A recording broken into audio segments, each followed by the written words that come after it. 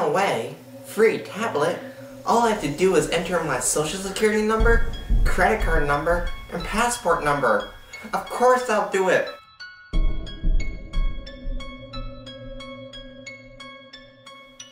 Wait, stop.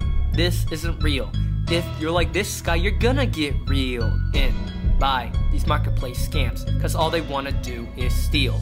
If you're buying online, make sure you buy safe. Certified a seller isn't just fake. You should sell to someone that you really trust. A check written for more than your price, that's nuts. If you suspect a marketplace scam, please stay cautious and follow our plan. It keeps you safe and your bank account too, so you can wave scams goodbye, adieu. If you suspect a scam, contact the Ohio Attorney General's office at www.ohioattorneygeneral.gov or dial 1 800 282 0515.